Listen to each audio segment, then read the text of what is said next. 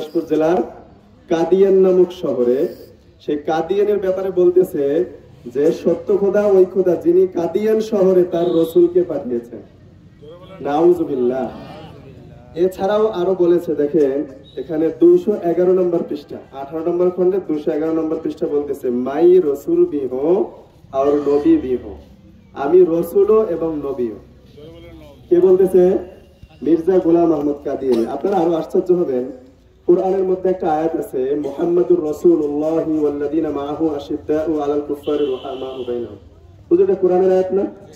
আচ্ছা এই আয়াতের ব্যাপারে মির্জা গোলাম আহমদ কাদিয়ানি বলতেছেন, ইস ওয়াহিয়ে মেরা নাম মুহাম্মদ और আহমদ রাখা গয়া। বুঝুন, এখানে যে লেখা আছে, এটা 207 নম্বর পৃষ্ঠা। এক এজালা, রুহানি খাজাইন আঠারো নম্বর খন্ডে এখানে এই আয়াত বলে বলতেছে এখানে মোহাম্মদ দ্বারা উদ্দেশ্য আমাকে নেওয়া হয়েছে। ইস ওয়াহি এলাইহি মে মেরা নাম মোহাম্মদ রাখা গয়া। এই ওহির মধ্যে আমার নাম মোহাম্মদ রাখা হয়েছে আর রসুল্লাহ এবং আল্লাহর রসুলও। মানে মোহাম্মদও রাখা হয়েছে, রসুলও রাখা হয়েছে। তাহলে সে মোহাম্মদ রসুল্লাহ হওয়ার দাবি করল এই কোরআনের আয়াতকে সামনে নিয়ে। কে?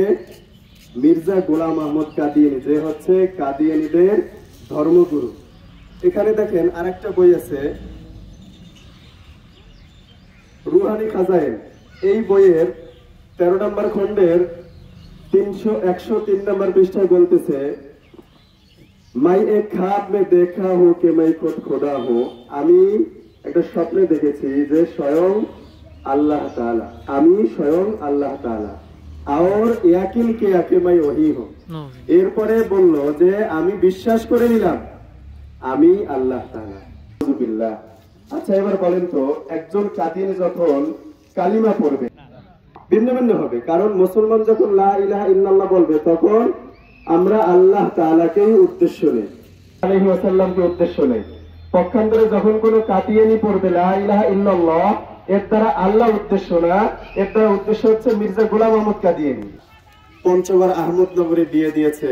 এই বিয়ে দেওয়ার মাধ্যমে এই মুসলমান মেয়েগুলোকে বিয়ে দেওয়ার মাধ্যমে মুসলমান মেয়েটাকে তো কাদিয়ানি কাফের বানাই বরঞ্চ তার পুরা ফ্যামিলি আত্মীয় স্বজনকেও তারা কাফের বানায়। তারা অমুসলিম বানায়। এই জন্য কাদিয়ানিদের থেকে সাবধান থাকব। থাকব ইনশাল্লাহ এক নাম্বার। দুই নাম্বার হচ্ছে, দেখেন একটা বই এই যে দেখেন হজরত দাউদ হজরত ইব্রাহিম আলাইহিসসালাম ইমানের মানুষ। হজরত দাউদ আলাইসাল্লাম প্রশংসার মানুষ। এই দেখেন হজরত মুসা আলাইহিসসালাম আইনের মানুষ। হজরত ইয়াহিয়া আলাইহিসসালাম পথ প্রদর্শনের মানুষ। হজরত নূহ আলাইহিসসালাম ন্যায় নিষ্ঠার মানুষ। দেখেন তো ইঞ্জিল শরীফ, পবিত্র বাইবেল শরীফ, অশান্ত ঝড় নামক একটা বই। ভালো করে বোঝার চেষ্টা করবেন। এ দেখেন খ্রিস্ট ধর্ম ও নৈতিক শিক্ষা, পঞ্চম শ্রেণি। এই যে যে বইগুলো দেখালাম, এই বইগুলো মুসলমানদের না, নামগুলো মুসলমানদের কিনা বলেন। এই যে যে এখানে কিছু নাম নেওয়া হইল ইঞ্জিল শরীফ কি বলে, নূহ আলাইসাল্লাম ইয়াহি আলাইসাল্লাম নবীদের নাম নেওয়া হলো। এই নামগুলো কি মুসলমানদের নাম না? নবীদের নাম না? এই সব বইগুলো খ্রিস্টানদের। তাদের খ্রিস্টান মিশনারিদের। এই বইগুলো আমরা পঞ্চগড় থেকে বা অন্য জায়গার থেকে নেই নেই আপনাদের এই রুহিয়া এলাকার থেকে আমার সংগ্রহ করা। বুঝলেন এই বইগুলো আমার এই রুহিয়া এলাকা থেকে সংগ্রহ করা। আচ্ছা আমি একটা প্রশ্ন করি। আমাদের নবীর আগের নবীর নাম কি? বলেন না। আমাদের নবীর আগের নবীর নাম কি? হজরত আইসা আলাইহিসালাম আচ্ছা আইসা আলাইহিসালাম থেকে এর আগে প্রথম পর্যন্ত একদম সর্বপ্রথম নবীর নাম কি?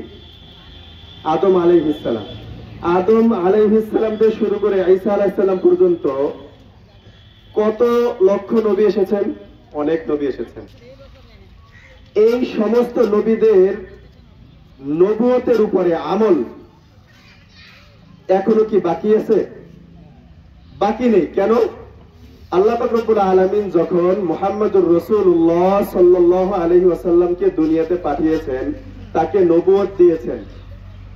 নবুয়ত দেওয়ার সাথে সাথেই পিছনের সমস্ত নবীদের আমল আমরা আর করছি না। আমল আমরা বর্জন করছি। তার আমল তার জায়গায়। আমাদের জন্য শেষ হয়ে গেছে। আমাদের এখন চূড়ান্ত আমল হচ্ছে কোরআনের আমল। মোহাম্মদ